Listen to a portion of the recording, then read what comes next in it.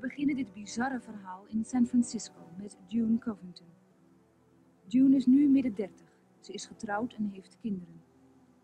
Een paar jaar geleden durfde ze eindelijk te praten over ervaringen die ze meemaakte als kind in een Satanscultus. program not only by being humiliated, being tortured, um, being programmed not to talk. Um, for an example, I'll give you an example of how I was programmed not to talk. They used to put me in a coffin, a small coffin, that was so small on me that I couldn't move my arms. And one of the ways they programmed me not to talk was um, told me that I was never to talk, and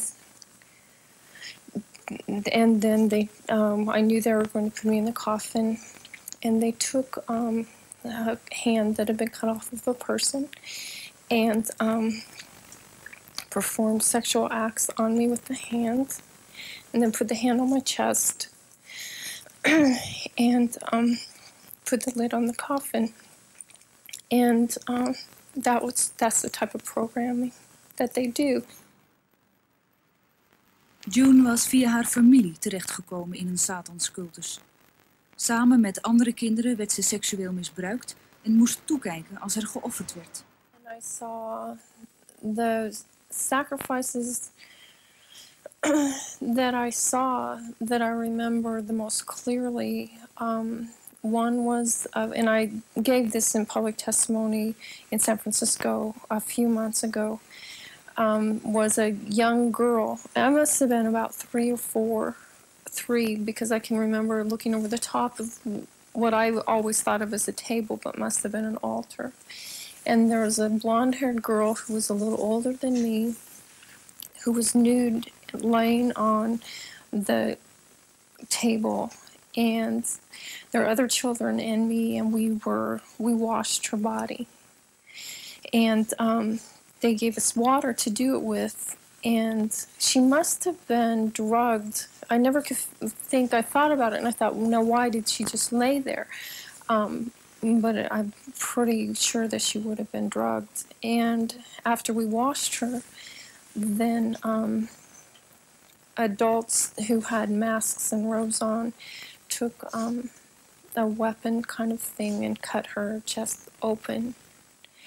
And um, then I don't remember what happened after that until I remember her just being bloody and her arms folded again over her.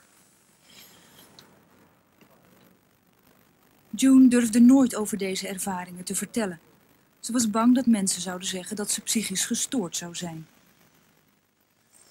the woman, she probably was a young, very young in her teenage years, and she um, gave birth to a baby.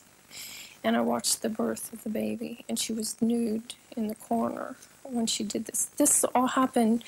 Some these sacrifices happened in a meat processing plant of some sort. Um, because there were the setting was like that um, and I've uh, that all sounded so weird to me, and I was afraid to tell people these things because they, I thought they're just they will think I'm crazy. But the more I talk, the more encouraged I am that my experiences are not unusual at all. They're shared by and lots and lots of people. Uh, the types of um, sacrifices, the types of settings, the the types of outfits these people wore, the, the masks that they wore, are similar to other people's experiences. And like I told you earlier when we are talking, they're in my memory. I don't have to check them out or anything. They're in my memory. And when they click in with other information, it frightens me, but then it's also reassuring that I'm not crazy. The other sacrifice when this woman gave birth to this baby, um, they sacrificed the baby and the mother. And they did the baby by putting, I don't even know if it was a boy or a girl, in a wooden kind of vice thing. And um, they tightened it and squashed the baby. And then the mother, how they killed her was they hung her by her feet, and she was nude also, and um, she was laughing the entire time they did this, and they poured uh, something on her face, and then they lit it on fire, and then they cut her in two from in between her legs, and that's how they killed her. And you know, like I said, you can understand why I wouldn't want to talk about these things. They're very bizarre. De verhalen lijken te bizar, te ongelooflijk om waar te zijn. Misschien is June toch psychisch gestoord en bestaan deze afschuwelijke dingen alleen in haar gedachten. Maar we mogen wensen dat dat waar is. June's verhaal lijkt bevestigd te worden door kinderen en volwassenen uit heel Amerika met soortgelijke ervaringen. In Amerika worden al jaren jonge kinderen die seksueel misbruikt zijn begeleid. Maar in 1984 kreeg therapeut Pamela Hudson kinderen in behandeling die extreem angstig waren om te vertellen wat ze hadden meegemaakt. these children were more frightened than children who've been sexually assaulted because it seems these children were intimidated a great deal more. They were threatened that if they spoke, their families would be killed or their pets would be killed, and indeed they would be killed.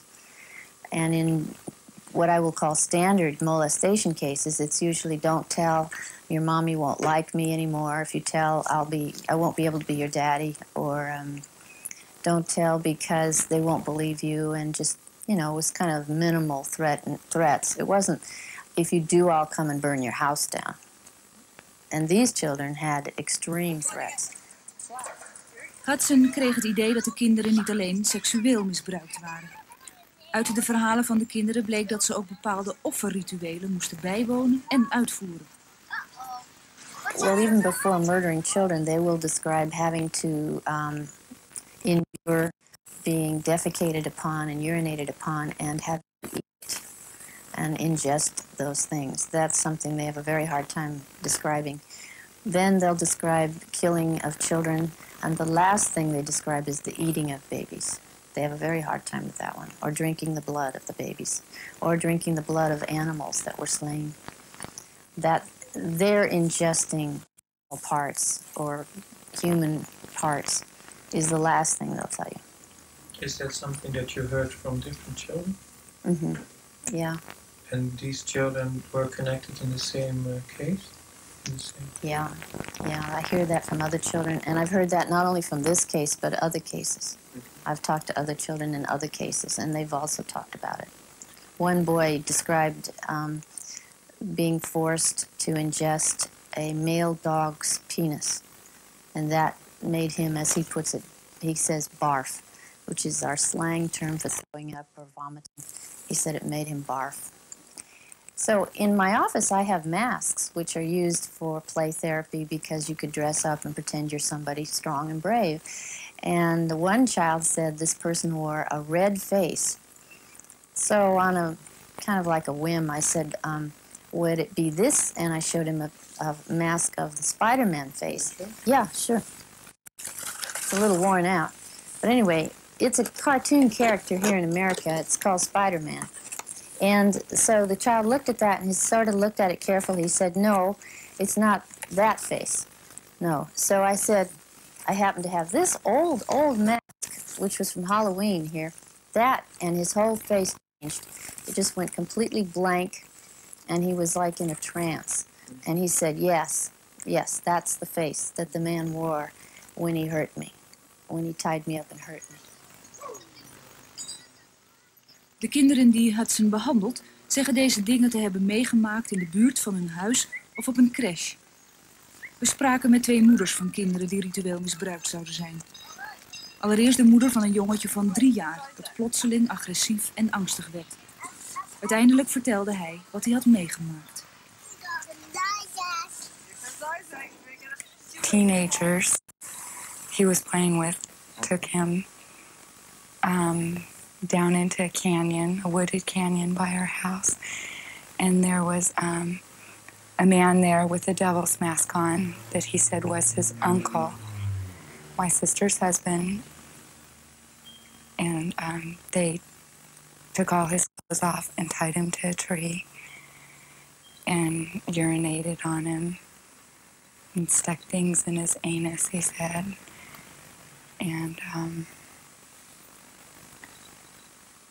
he gets real upset if you try to talk to him about it.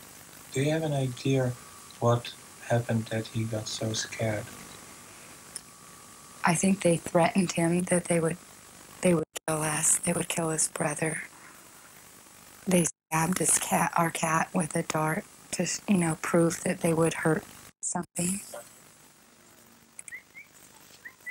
Ook moeder van een tweejarig meisje dat overdag naar een crash ging, ontdekte dat haar kind zich opeens vreemd ging gedragen.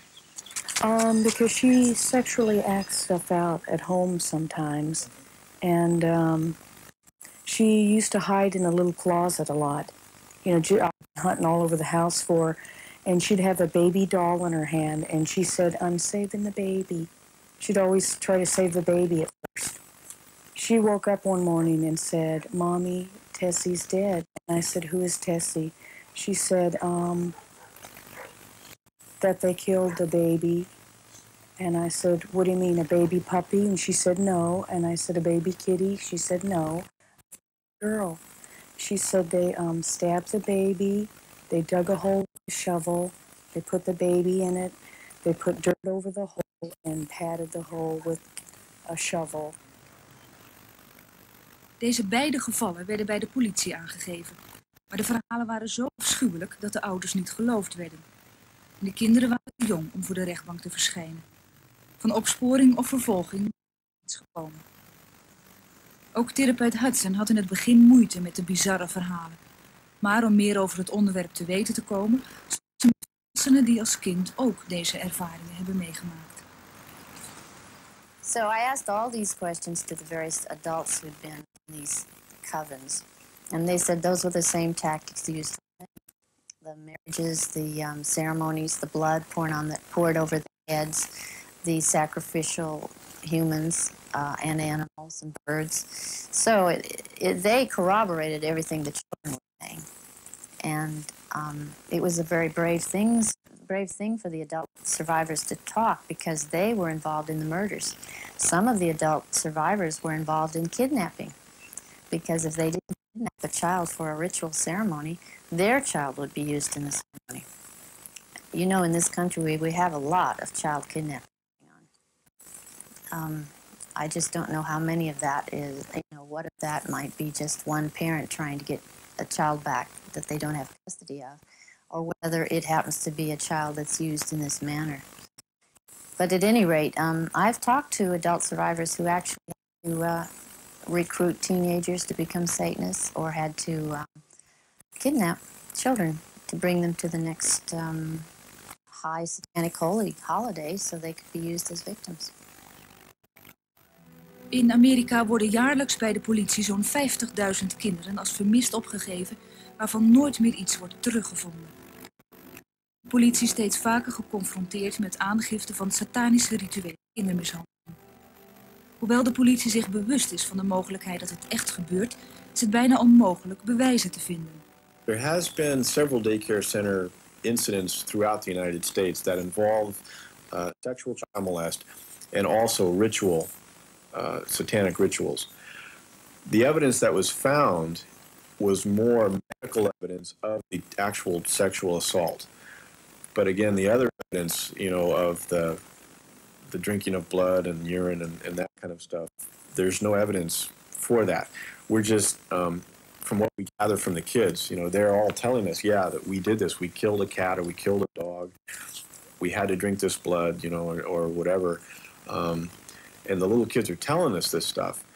And kids in, in California are saying the same thing that kids in New York are saying. And, you know, the same thing that kids in Omaha are saying. It's just, the little guys are all saying the same thing. So it's, you know, nothing that they're, you know, they're, they're not coming up with this off the top of their head. I believe this actually happened because there's no way a little guy, you know, three or four would know this kind of stuff. But it's just there again the evidence. You know, it's just we don't have any evidence to prove that. Niemand, ook de politie niet, heeft enig idee van de omvang of de aard van de satanische groepen. Sommigen denken dat de groepen nationaal georganiseerd zijn. Anderen menen dat er ook vooraanstaande burgers bij betrokken zijn, zoals doktoren, onderwijzers of zelfs doden. Zeker is dat alles in het grootste geheim gebeurt.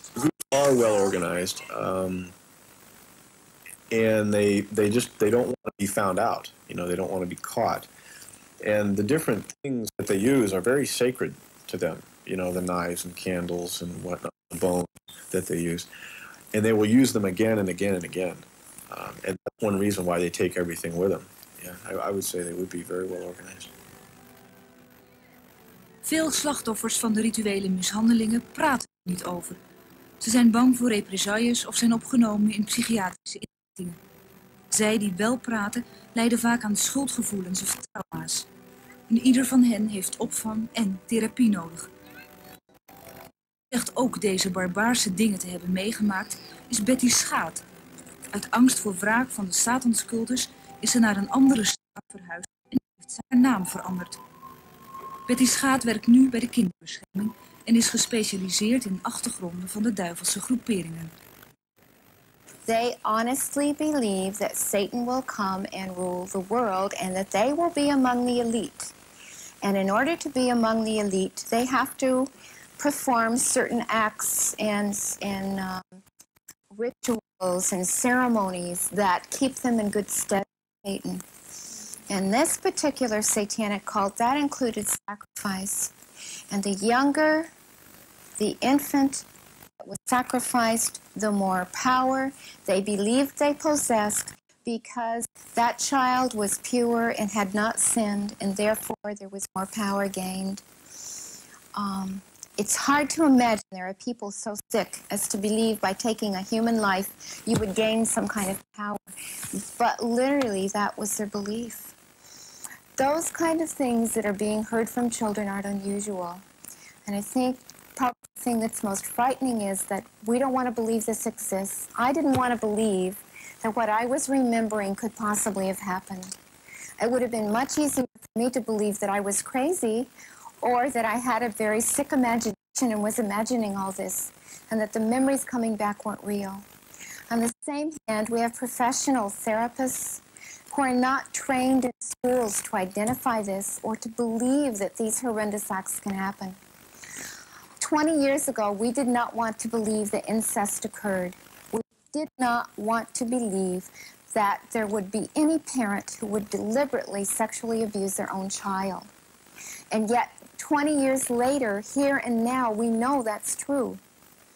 We're at the threshold of just learning what satanic ritualistic abuse really is about, how prevalent it is, how networked it is, not just in the United States and Canada, but in every country in the world, because their whole premise is world dominance. And that means that you cannot leave any country untouched. So, no matter what country you're from, somewhere in the most secret, highly protected societies, there is going to be some satanic ritualistic abuse. And those who manage to, to survive it and to escape it, and who the walls break down for and the memories start coming back, there better be therapists in place who can hear it and understand it and believe it and accept it, or those people will never get help.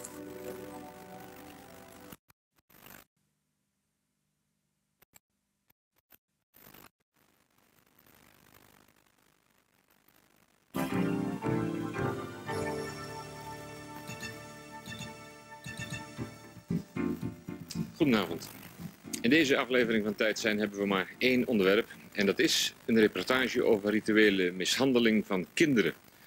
Een vorm van mishandeling die ook in Nederland plaatsvindt. En omdat het hier om een gruwelijke misdaad gaat, kunnen we ons voorstellen dat u liever niet kijkt. De reportage komt kort gezegd erop neer dat er in Nederland kinderen worden bloed te drinken, seksuele handelingen te verrichten met lijken en mee te werken aan babyoffers tot het maken van deze reportage na een eerdere tijd zijn reportage over dit onderwerp uit Amerika. Naar aanleiding van die reportage kregen wij signalen dat die gruwelijkheden ook in Nederland gaande zouden zijn. Na twee maanden intensieve research hebben we nu de sterke indruk dat dat inderdaad het geval is. Oordeelt u zelf. De reportage begint met de eerste verhalen die we hoorden uit Amerika.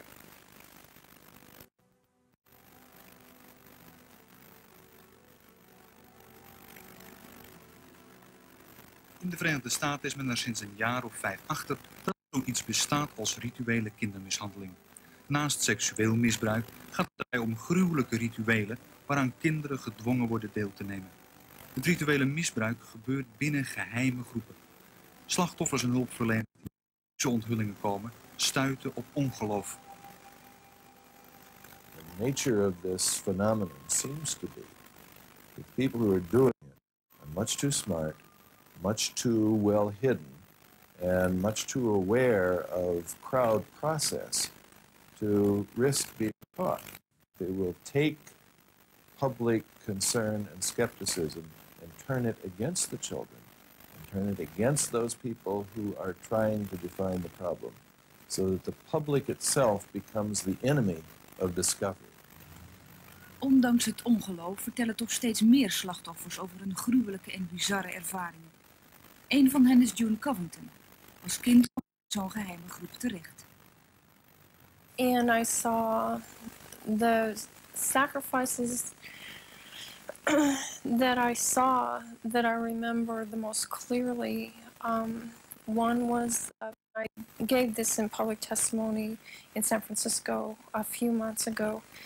Um, was a young girl. I must have been about three or four, three, because I can remember looking over the top of what I always thought of as a table, but must have been an altar.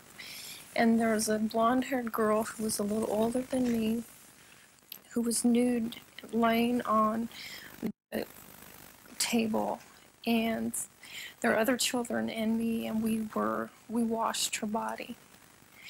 And um, they gave us water to do it with and she must have been drugged i never could think i thought about it and i thought well, no why did she just lay there um, but I'm pretty sure that she would have been drugged. And after we washed her, then um, adults who had masks and robes on took um, a weapon kind of thing and cut her chest open. And um, then I don't remember what happened after that until I remember her just being bloody and her arms folded again over her. Het verhaal van June lijkt te bizar, te ongelooflijk om waar te zijn. Misschien is ze psychisch gestoord en bestaan deze afschuwelijke dingen alleen in haar gedachten. Maar haar verhaal lijkt bevestigd te worden door slachtoffers uit heel Amerika. Volwassenen en kinderen. Therapeut Pamela Hudson hoorde van kinderen die seksueel misbruikt waren hele gruwelijke en sadistische beschrijvingen. Well, even before murdering children, they will describe having to um, endure being defecated upon and urinated upon and having to eat it and ingest those things. That's something they have a very hard time describing. Then they'll describe killing of children, and the last thing they describe is the eating of babies. They have a very hard time with that one. Or drinking the blood of the babies, or drinking the blood of animals that were slain. That they're ingesting animal parts, human parts, is the last thing they'll tell you. Is that something that you heard from different children? Mm-hmm. Yeah, And these children were connected in the same uh, case? The same- yeah, yeah. I hear that from other children, and I've heard that not only from this case, but other cases. I've talked to other children in other cases, and they've also talked about it. De verhalen van de slachtoffers komen ook bij de politie terecht. In de praktijk kan de politie er weinig mee doen, omdat er geen bewijzen zijn. Toch zijn er politiemensen die de zaak serieus There has been several daycare center incidents throughout the United States that involve uh, sexual child molest and also ritual, uh, satanic rituals. The evidence that was found was more medical evidence of the actual sexual assault. But again, the other evidence, you know, of the the drinking of blood and urine and, and that kind of stuff, there's no evidence for that. We're just um, from what we gather from the kids, you know, they're all telling us, yeah, that we did this. We killed a cat or we killed a dog. We had to drink this blood, you know, or, or whatever. Um, and the little kids are telling us this stuff. And kids in, in California are saying the same thing that kids in New York are saying. And, you know, the same thing kids in Omaha are saying. It's just the little guys are all saying the same thing. So it's, You know, it's just nothing that they're, you know, they're, they're not coming up with this off the top of their head. We believe this actually happened because there's no way a little guy, you know, three or four would know this kind of stuff. But it's just there again the evidence. You know, it's just we don't have any evidence to prove that. In Amerika zijn de mensen die geloven dat rituele kindermishandeling gebeurt ervan overtuigd dat het niet alleen in hun land voorkomt. Overal ter wereld moeten van deze geheime groepen opereren. We're at the threshold of just learning what satanic ritualistic abuse really is about. How prevalent it is, how networked it is, not just in the United States and Canada, in every country in the world, because their whole premise is world dominance. That means that you cannot leave any country untouched. So, no matter what country you're from, somewhere in the most secret, highly protected society, there is going to be some satanic ritualistic abuse. Als de experts in Amerika gelijk hebben, dan moeten er ook in Nederland slachtoffers zijn van ritueel misbruik. Na onderzoek in ons land bleken die mensen er inderdaad te zijn. Een van die mensen is Ans. Ze wilde alleen onherkenbaar haar verhaal vertellen uit angst voor de daders. Ans is ook haar echte naam niet. Als kind heeft ze bizarre dingen meegemaakt die ze later niet kon en wilde geloven. De reportage over rituele kindermishandeling in Amerika gaf Ans een schok van herkenning. De schok was dat je toch, houdt jezelf steeds voor dat uh, fantasie toch is. Althans, dat hoop. En dan ineens uh, kom je er niet meer omheen. Dat het, dan is geen fantasie meer. Andere mensen dan vrijwel gelijk hetzelfde hebben meegemaakt. En die eerste mevrouw die vertelde een aantal dingen die zo exact leken op dingen die mij zijn overkomen. Dat ik kon er geen kant meer omheen. Bijvoorbeeld die kist. Dat kan ik ook helemaal. Dat was in een kapel. Ik lag in die kist. Ik kon niets doen. Ik kon ook het mezelf duidelijk maken. En er werd er een, een lijk op me gelegd. En weer een andere de ledematen van de lijk op heen. Wat er daarna gebeurd is, weet ik gewoon niet meer. Ik denk dat ik, uh, ja, flauwvallen, nou ja, flauwvallen. Uh, buiten kennis geraakt. Het lijkt een ongelooflijk en verward verhaal. Toch zijn ook in Nederland het niet alleen volwassenen die hiermee komen, ook kinderen. Zoals bijvoorbeeld Bert. Toen hij elf jaar was, kwamen zijn ouders erachter dat hij seksueel misbruikt was. Later vertelde Bert dat er ook nog andere dingen gebeurd waren.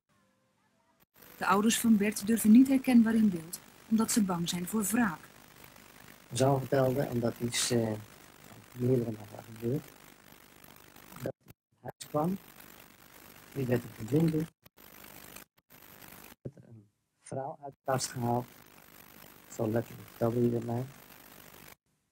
Hij kreeg een mes in zijn handen gedrukt en daaromheen de handen van, van een oude persoon. Dus van degene die, die hem dan die beweging moest brengen om te steken. Hij moest dan steken in de vrouw, dan werd de bloed afgedaan en dan zag hij overgeven uit de mond komen.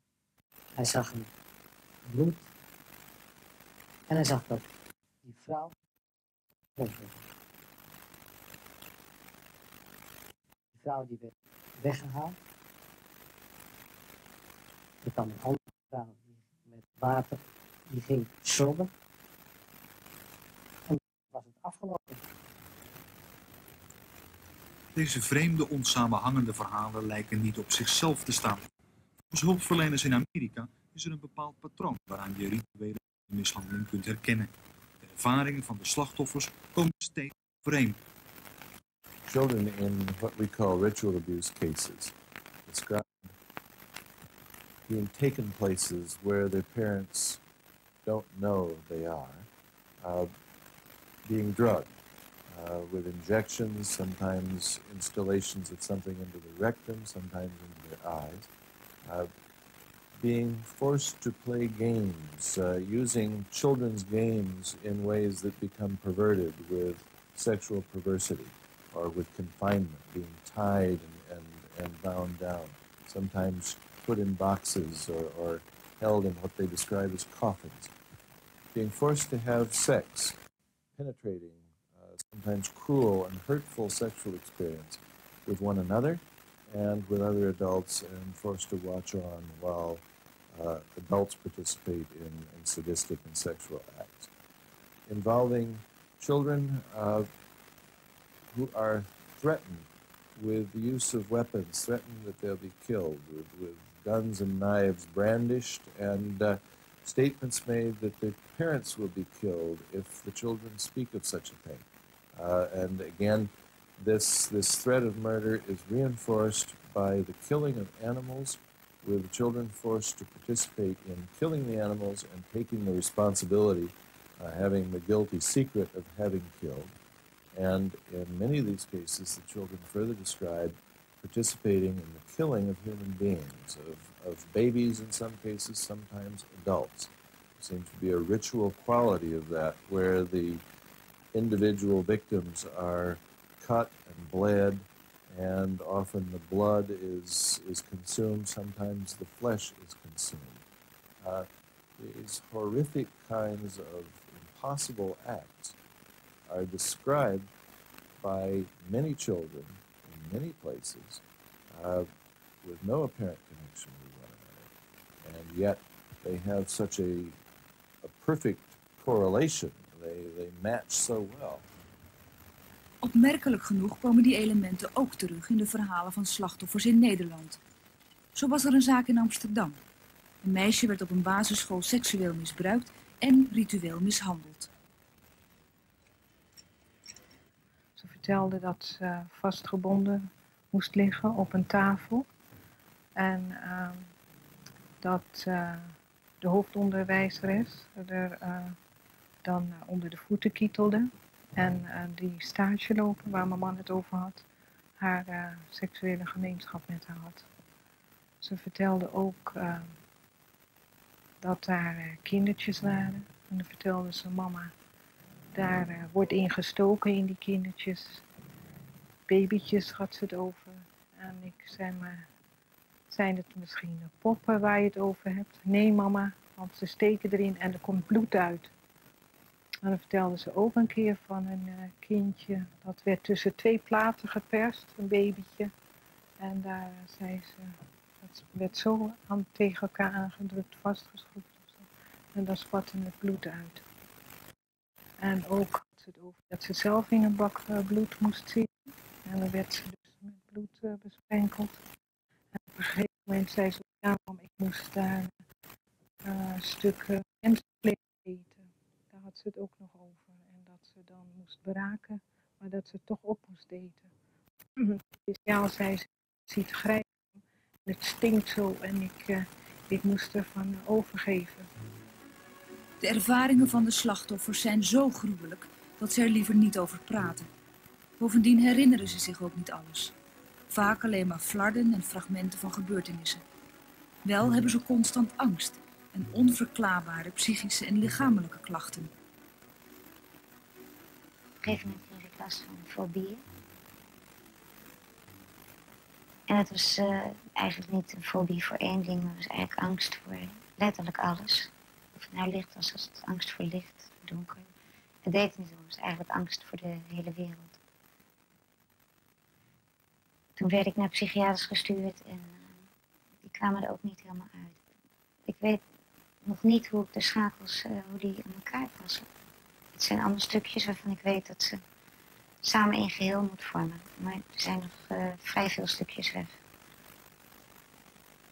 Dus het zijn gewoon gedeeltes uh, niet naar boven komen. Volgens Amerikaanse hulpverleners is het een bekend verschijnsel dat slachtoffers van ritueel misbruik zich niet alles kunnen herinneren. Dat komt niet alleen door de gruwelijke gebeurtenissen. De hulpverleners zijn ervan overtuigd dat de daders gebruik maken van psychische terreur om de slachtoffers het zwijgen op te leggen. There, there are two reasons essentially why people don't remember. The first is they're given a warning that they're going to die. And if you see, if you're a child of five years old and you see uh, another child of five uh, literally burned up uh, and told the same thing would happen to you if you ever talked about the experience, that's usually warning enough to keep you quiet. Um, the, uh, the other thing that happens is uh, there, there may be very uh, professional uh, medical or psychiatric people involved who will utilize some combination of drugs and hypnosis, one or the other or both. And that combination may um, require a person to be unable to remember. Uh, they, they literally can't re- can't remember because there is a uh, they're told that uh, their mind won't work. People will think they're crazy. Uh, they'll have confusion inside. Uh, they may remember uh, the effects of the drugs. Ook de slachtoffers in Nederland werden bedreigd, gestraft en geïntimideerd wanneer ze zich verzetten of iets aan anderen wilden vertellen. Zeer zwaar bedreigd. Bedreigd Altijd met het doden van een van zijn ouders. Als hij iets zou vertellen, zou het ouders gedood. Door, nou voorbeeld, eh, met, eh, in een heel klein gebouwtje. Met allemaal torren op mijn lijf te zetten. Terwijl ik vastgebonden lag en dus niks kon doen.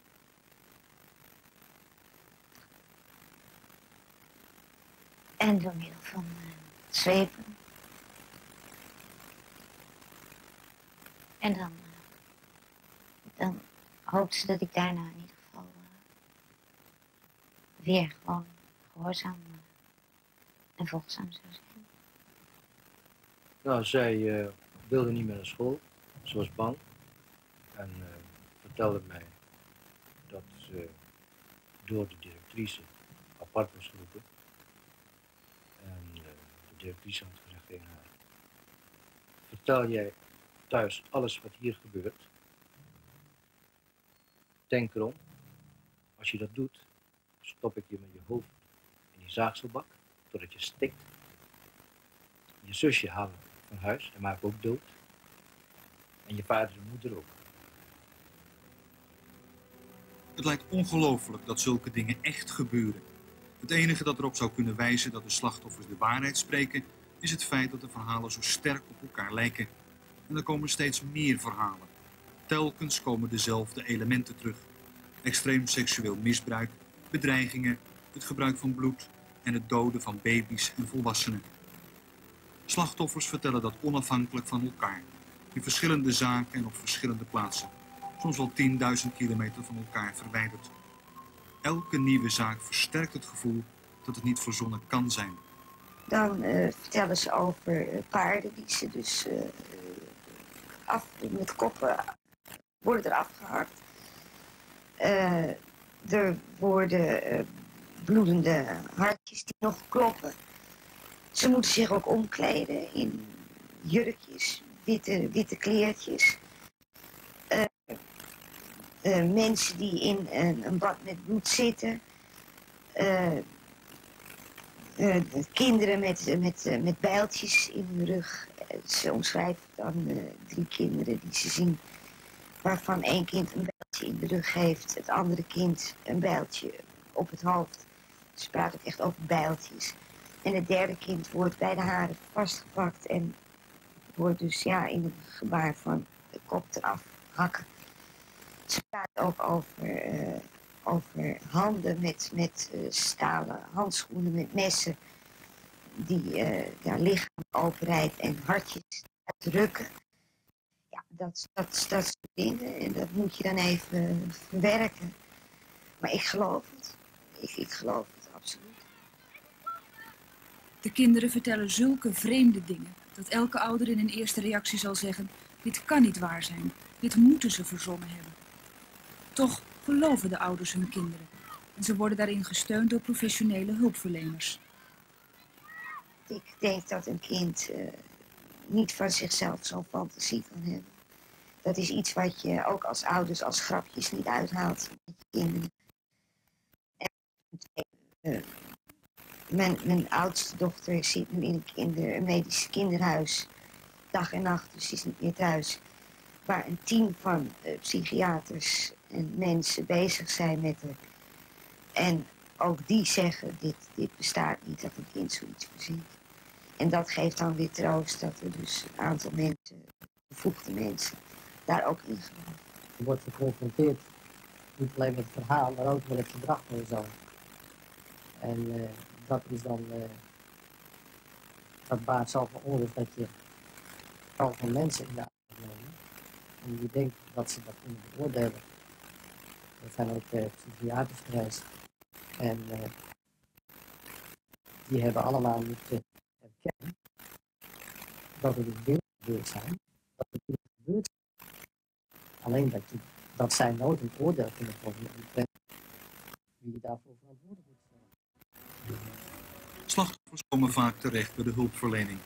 Opvallend is dat vooral bij seksueel misbruik deze vreemde verhalen naar boven komen. We worden dan geconfronteerd met ervaringen die veel verder gaan dan wat we nu weten over incest en seksueel misbruik. Het gaat meestal gepaard met vuur, met beschuldigingen van satanische machten. Kinderen, meisjes meestal worden ervan beschuldigd de moeder van Satan zijn. En dan worden deze meisjes uh, blootgesteld aan bepaalde offerrituelen, waarbij ze vastgebonden naakt meestal moeten liggen, kaarsen eromheen die dan aangestoken worden. Moeten ze uren alleen zijn en dan worden ze daarna op allerlei manieren seksueel verkracht, misbruikt.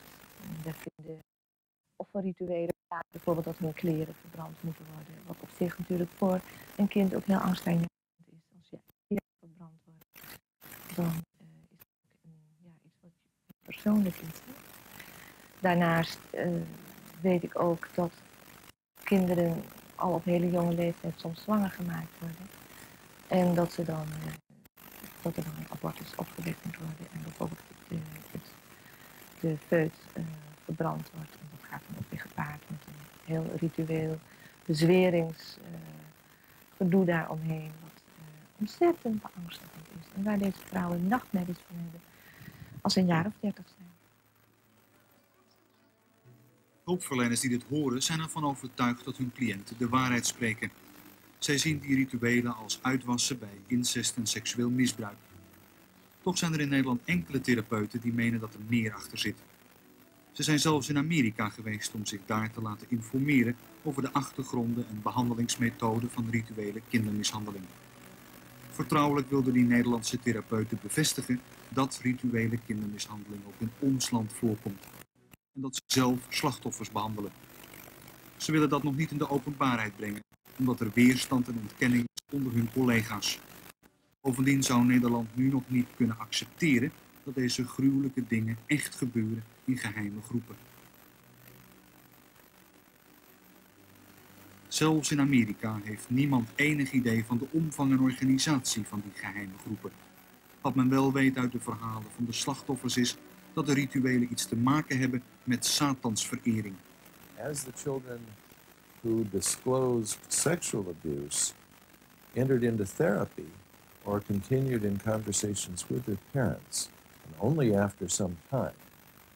These children began describing ritual abuse, the presence of other people doing uh, sadistic and sometimes religiously significant kinds of rituals. They, they described the worship of Satan, they described messages in which they were told that their parents were, were bad and that society was weak and that Satan was strong. These, these indications of satanic activity only emerged long after the original acknowledgments of sexual activity. You have to realize that in the satanic beliefs in religion, they honestly believe that Satan will come and rule the world and that they will be among the elite. And in order to be among the elite, they have to perform certain acts and, and um, rituals and ceremonies that keep them in good stead with Satan. In this particular satanic cult, that included sacrifice. And the younger the infant that was sacrificed, the more power they believed they possessed because that child was pure and had not sinned, and therefore there was more power gained. Um, it's hard to imagine there are people so sick as to believe by taking a human life you would gain some kind of power. But literally, that was their belief. Rituele kindermishandeling vindt plaats in groepen die de Satan vereren. De leiders van deze satanische groepen moeten vooral worden gezocht in de bovenlaag van de samenleving. Generally speaking, I would say they would tend to be uh, the better educated, more professional people. You may have uh, a lot of people that are that are not particularly high on the socioeconomic level who participate, but the people who run those groups, who lead them, are the people that I call professionals. Uh, the professionals may be uh, attorneys, physicians, psychiatrists, ministers, political figures, well-to-do business figures, and anybody uh, that that has uh, status and power in the community. These people uh, feel that their sense of uh, of power comes from uh, social status and, and economic. The way they the way they deal with their world of victimization is by controlling it, and they will control it through the material means and through the political power or any power that they can manage. De satanische groepen zijn zo geheim zo goed georganiseerd dat er nooit één spoortje bewijs te vinden is. De mensen die het geloven staan altijd met lege handen. Dat geldt ook voor de politie. I would say yes. The groups are well organized, um, and they they just they don't want to be found out. You know, they don't want to be caught. And the different things that they use are very sacred to them. You know, the knives and candles and whatnot, and the bones that they use, and they will use them again and again and again. Uh, and that's one reason why they take everything with them. Yeah, I, I would say they would be very well organized. Wat overblijft zijn onopgeloste zaken. Geen daders en geen bewijzen. Er zijn alleen gruwelijke en bizarre verhalen van slachtoffers die zo sterk op elkaar lijken dat het geen toeval kan zijn. Als er één onopgeloste zaak in Nederland is waar dat voor geldt, is het Oude Pekela. Ook daar hoorden ouders hele vreemde verhalen van hun kinderen. Ze kwamen bij een, eh, een huis, een groot wit huis, met een zwembad. Er waren eh, vrij veel mensen verkleed, als clowns, eh, als dieren ook, als tijgers. Krokodillen. Daar werden ze gedoucht, uitgekleed, ingezeept, gedoucht. Want ja, de kinderen werden zo van de straat geplukt, dus ze waren nogal zwart. En dat konden ze niet gebruiken, zulke zwarte kinderen voor een film. Want het waren allemaal lampen, ook verteld. En ja, dan werden daar eh, spelletjes gedaan. Seksuele handelingen moesten de kinderen verrichten met mensen die, eh, ja, grote mensen met een dikke piemel.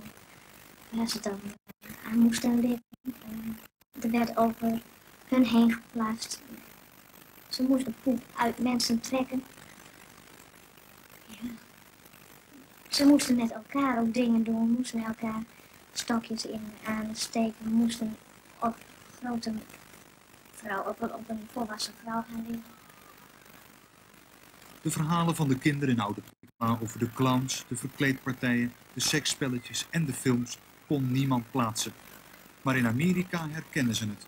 I'm amazed to hear that children describe costuming with the same kind of, of specificity as, as we have heard here. It's very hard to understand the meaning.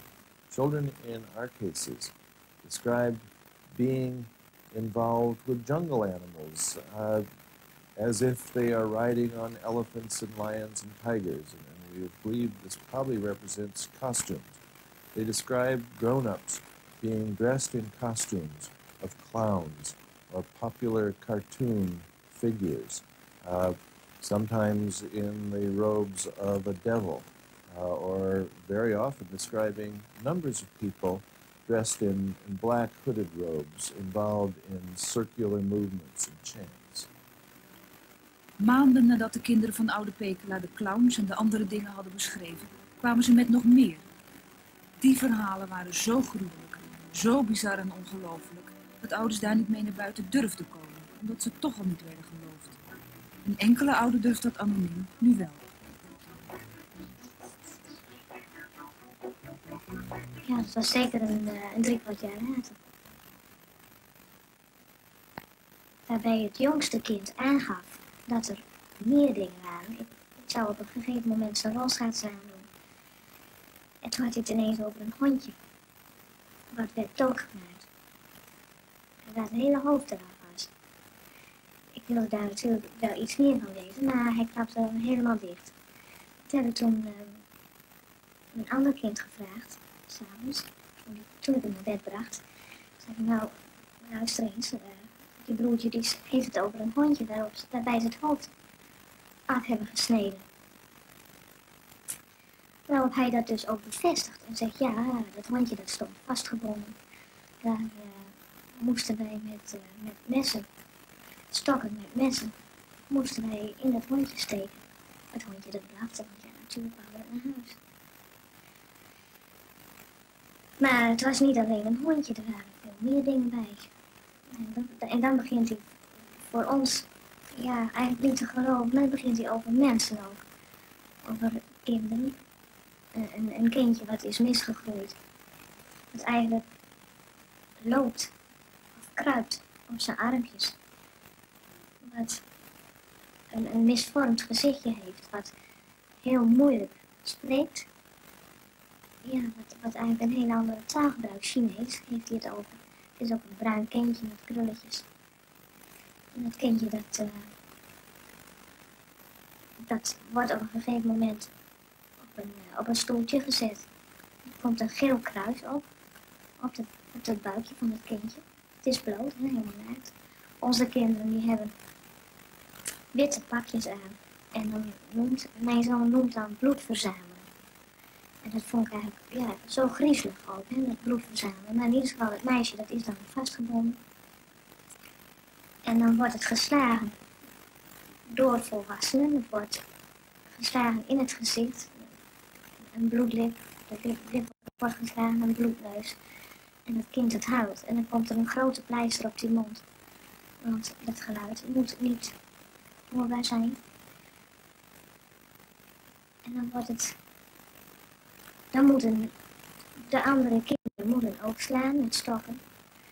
Ze moeten het kindje ook steken. Ja, met messen, een zakmes heeft hij dan. En, uh, ja, het wordt, het wordt geslagen, geschopt. En dan wordt het meisje wordt open gesneden, kruis ook heel duidelijk. Dat, die, uh, dat daar, dan moeten ze met een ijzeren handschoen, moeten ze uit het kind hartjes halen. Het hartje wordt dan in een schatkistje, zo noemt hij het ook, een schatkistje.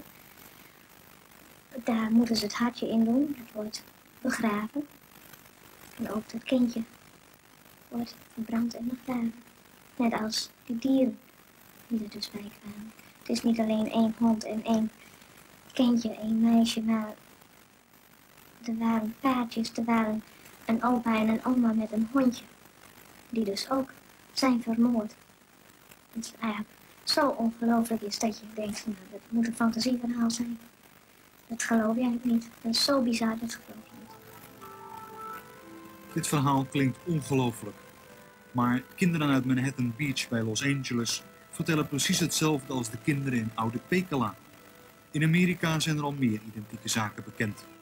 Voor Amerikaanse hulpverleners is het nieuw dat nu ook in Europa zo'nzelfde zaak blijkt te bestaan. I'm astounded to hear that the case in Holland is identical to cases we have in this country.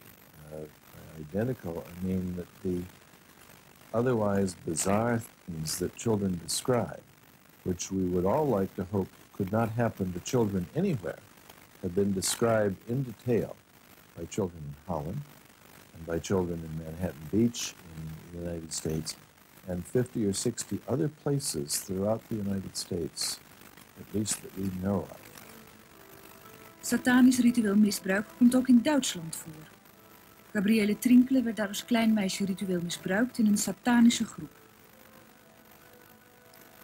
Es waren Opferrituale sehr oft.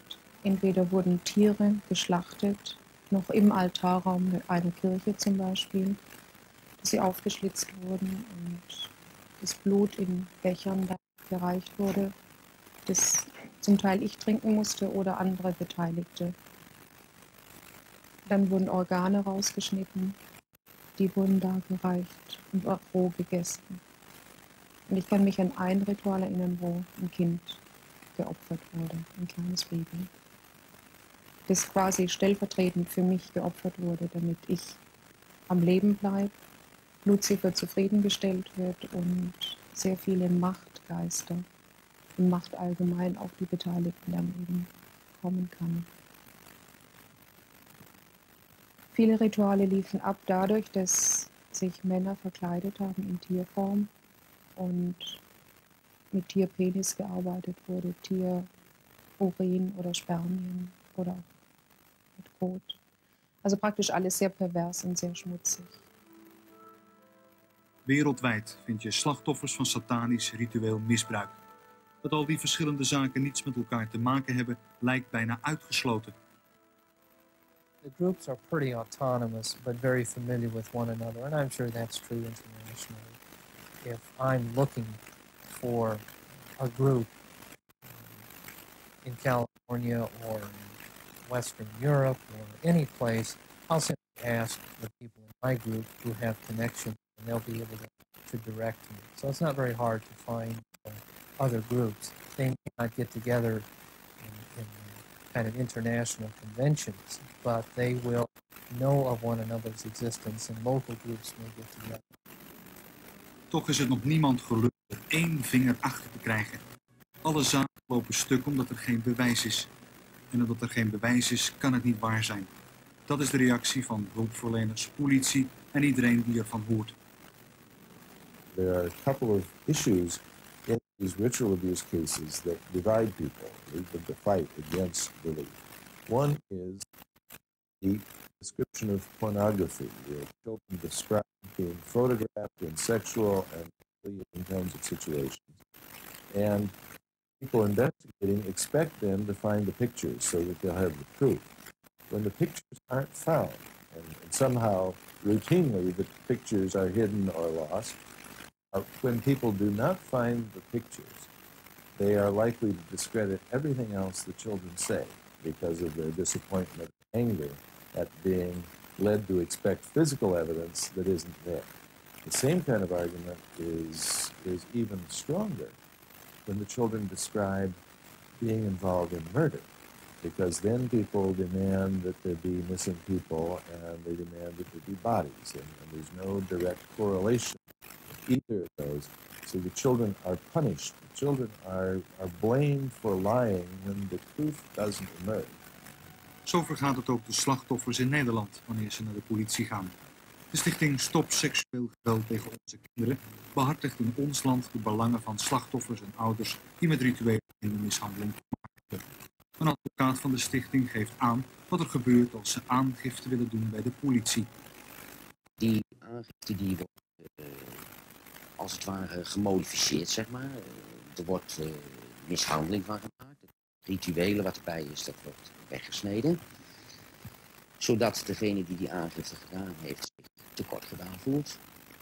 En wat we ook meemaken is dat de aangifte überhaupt niet serieus genomen wordt. Dat er geweigerd wordt om een procesverbaal op te maken. Dat was de ervaring van de slachtoffers in deze reportage. Bij het natrekken van hun verhalen, bijvoorbeeld in het geval van oude Ekela, ontkennen justitie en politie dat er verklaringen zijn afgelegd over rituele slachtingen van kinderen en volwassenen. Zowel ouders als professor Mick hebben dat tegenover het onderzoeksteam wel gedaan. Ook in de Amsterdamse zaak ontkent de politie iets af te weten van rituele slachtingen. Toch is de politie wel op de hoogte.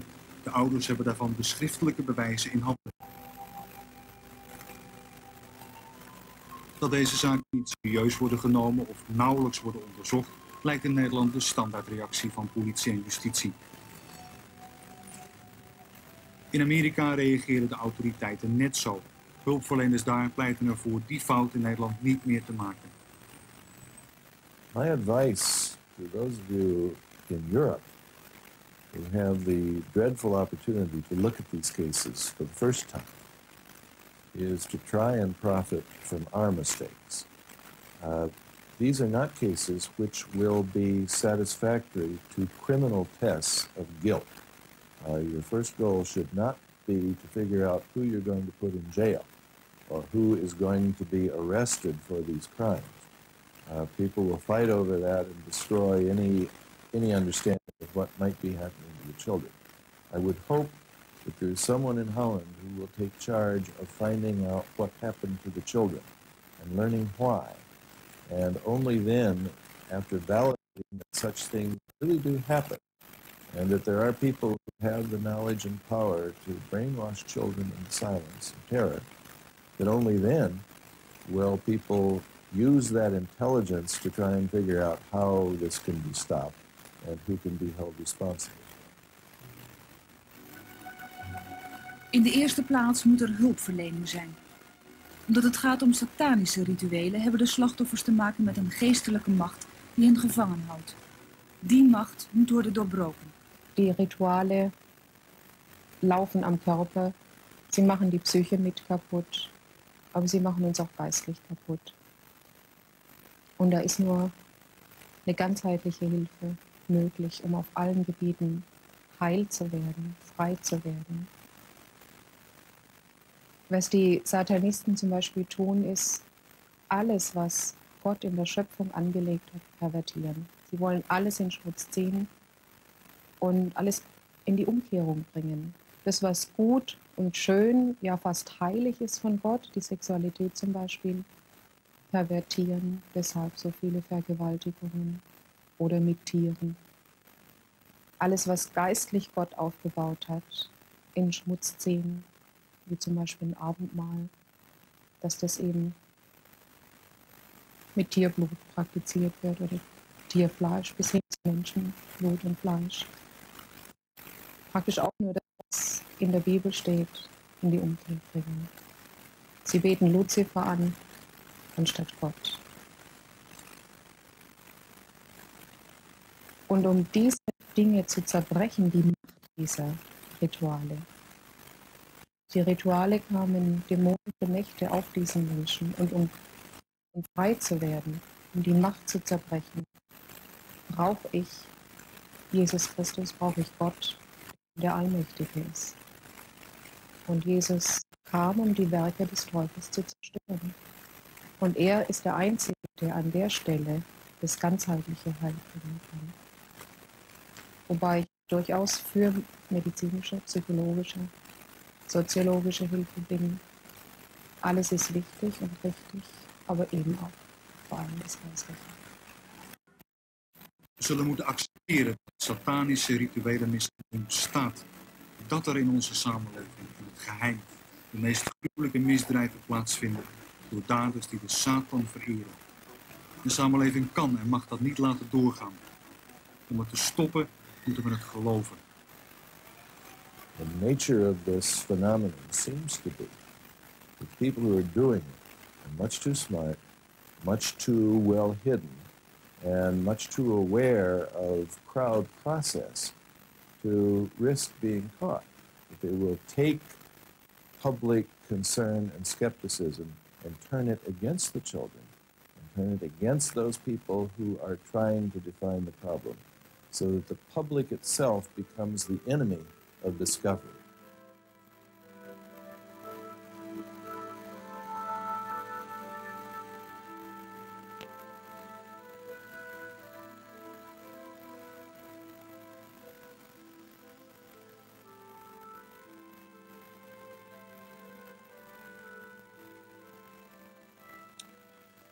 Kunnen ons voorstellen dat u na het zien van deze reportage er enigszins beduust bij zit. Er zullen ook mensen zijn die zeggen, dit is belachelijk, dit kan niet waar zijn. Voor hen die uit eigen ervaring weten dat het wel waar is, is er nu gelegenheid voor een persoonlijk gesprek. U kunt daarvoor bellen naar nummer 035 850 4 Een team van deskundige mensen zit klaar om met u te praten. U kunt ook schrijven. Het adres is Evangelische Omroep, afdeling Nazorg, postbus 565, de postcode 1200 AN Hilversum.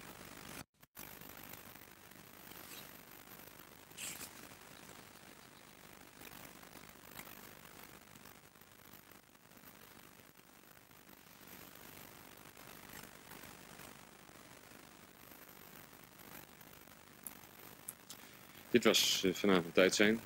U nog even op het programma Na ons. Ook daarin wordt ingegaan op de zojuist gemelde gruwelijkheden.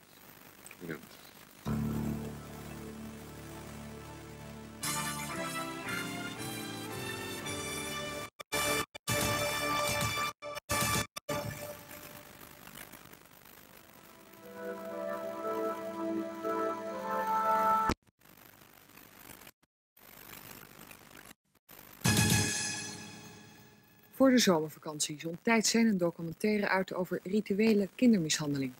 Slachtoffers vertelden over deze gruwelijke vorm van mishandeling. Hun verhalen gingen over verkrachtingen op een altaar, het drinken van bloed en kinderoffers.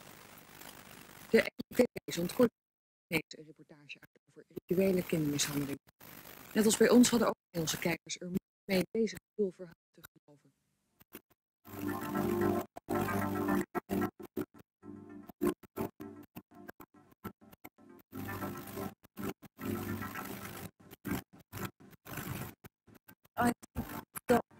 Look at what these children are saying all over the UK, in other parts of the world, and say to people, well, what do you think it is? What do you think it involves if we're talking about blood being drunk?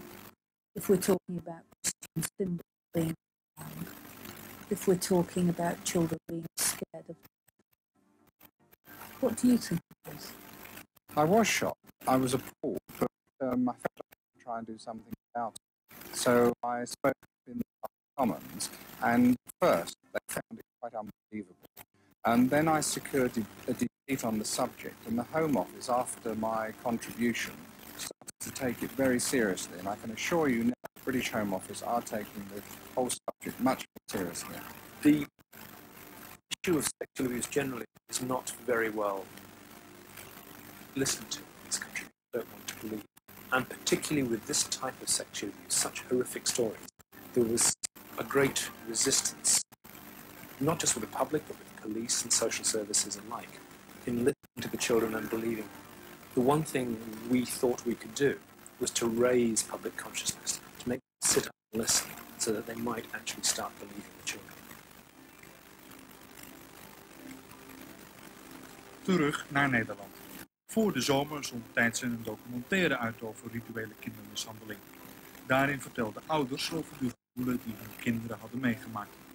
Uit angst voor de daders waren ze onherkenbaar in beeld. Ze kwamen bij een, uh, een huis, een groot huis, met een zwembad. Er waren uh, vrij veel mensen verkleed, als clowns, als, uh, als dieren ook als tijgers. Krokodillen waren er. Daar werden ze gedoucht, uitgekleed, ingezeept, gedoucht. Want ja, de kinderen werden zo'n straat geplukt, dus ze waren nogal zwart. En dat konden ze niet gebruiken. Zo zwart kinderen waren allemaal lampen, wordt ook verteld. Dan werden daar uh, spelletjes gedaan. Seksuele handelingen moesten de kinderen verrichten met mensen die, uh, ja, grote mensen met een ze dan uh, moesten likken. Er werd over hun heen geplaatst. Ze moesten poep uit mensen trekken. Ze moesten met elkaar ook dingen doen, moesten elkaar stokjes in aansteken, moesten op grote vrouw, op een volwassen vrouw. Kinderen vertelden niet alleen over seksueel misbruik, maar ook over mensenoffers. Voor ons, ja, eigenlijk niet te geloven, maar begint hij over mensen. Over een, een kindje wat is misgegroeid. Wat eigenlijk loopt of kruipt op zijn armpjes. wat een, een misvormd gezichtje heeft, wat heel moeilijk spreekt. Ja, wat, wat een heel andere taal gebruikt, Chinees, heeft hij het over.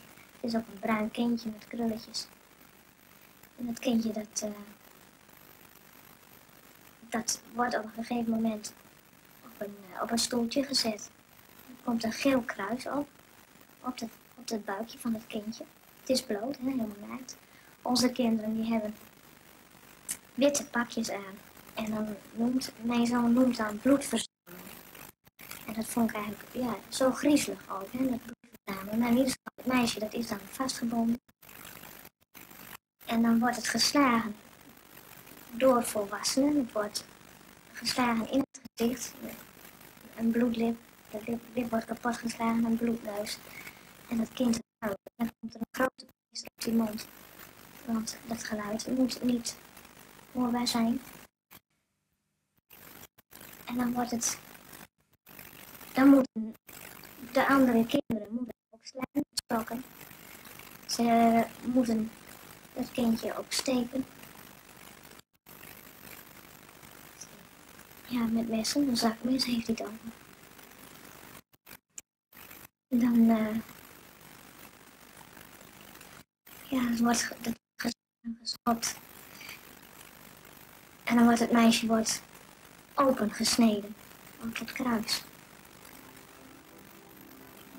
Deze afschuwelijke verhalen van Nederlandse kinderen kwamen overeen met ervaringen van slachtoffers in andere landen, zoals bijvoorbeeld Amerika. Hulpverleners bij rituele kindermishandeling daar waren verbaasd over de overeenkomsten.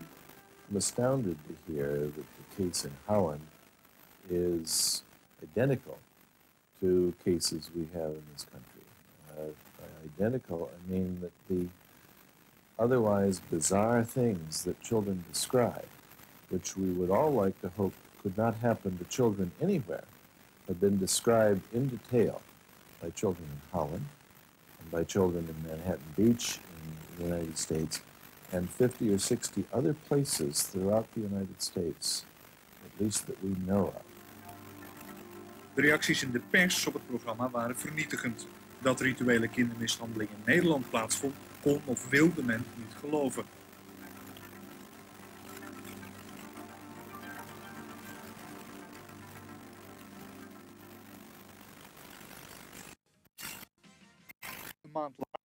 Engeland een soortgelijk programma uitgezonden. Ook daar vertelden ouders en slachtoffers over een rituele kindermishandeling. Hier volgt een gedeelte uit dat programma.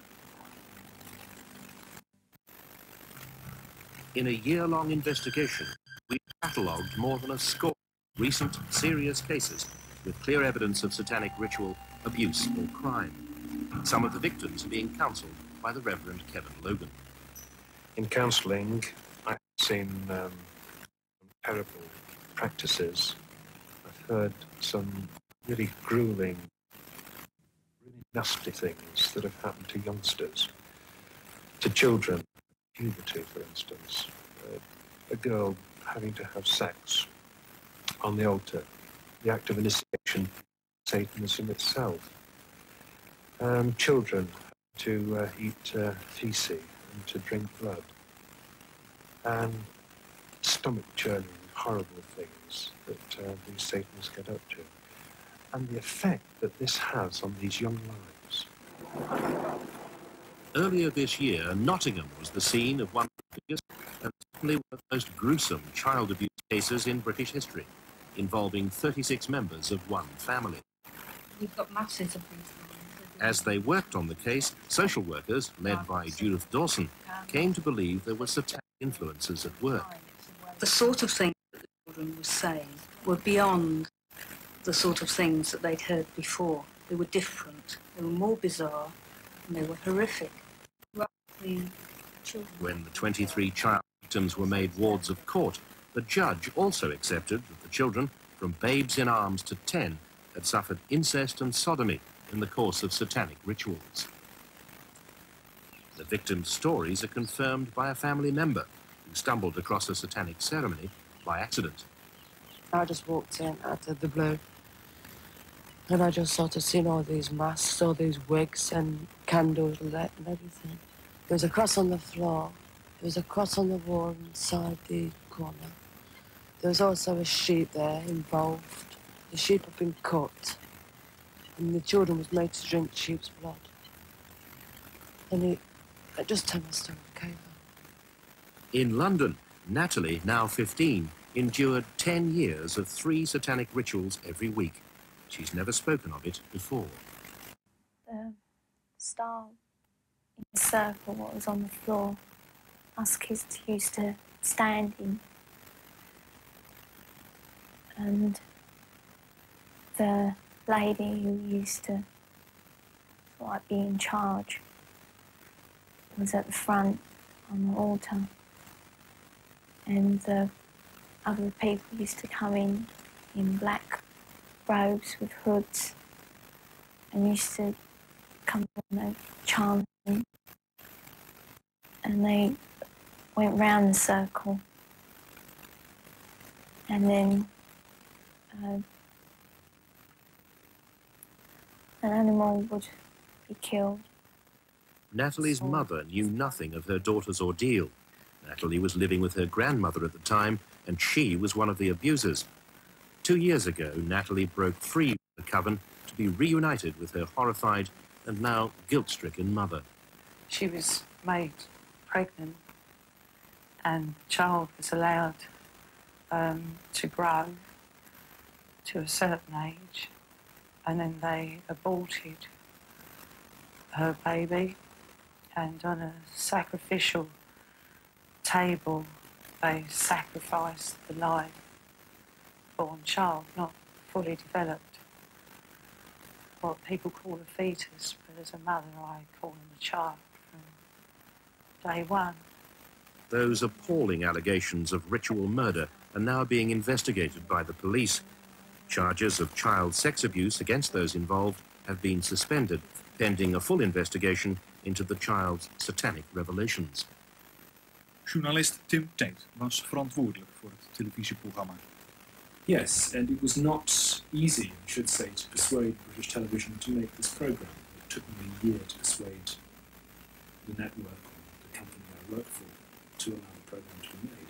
The idea behind it was to to make the public, to make the police, to make some social workers aware of a problem which appears to have existed for a long time, but is only now beginning to be disclosed. And throughout this country, there is very little understanding of a very, very difficult problem. So the aim of the program is simply to make people sit up and take notice. Het programma schokte Engeland. Net als in ons land waren er reacties van ongeloof.